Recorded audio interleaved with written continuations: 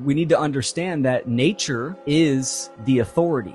Human beings are not the authority, and that is the problem. We think institutions and government need to exist. They create quote unquote order, which is actually incorrect. They create chaos. We can see this all throughout history and in our day and age. But really, it's the people that believe in this erroneous religious thought that human authority is moral and is valid because the majority of people support and condone these institutions and this belief. So it's good to understand that there is government, there is politicians. These are people that are making a claim really over the world, the land, the air, the water, and human beings, all beings, right? They're making that claim. But there's human beings that are submissive and obedient and most important, following orders that keep the system in place. These can be police, military, doctors, nurses, teachers even, and just the everyday person that goes out and votes and supports the control system. So this all stems from one belief that the majority of people don't even consider. They're completely ignorant to it, right? They're ignorant or they don't want to take action upon it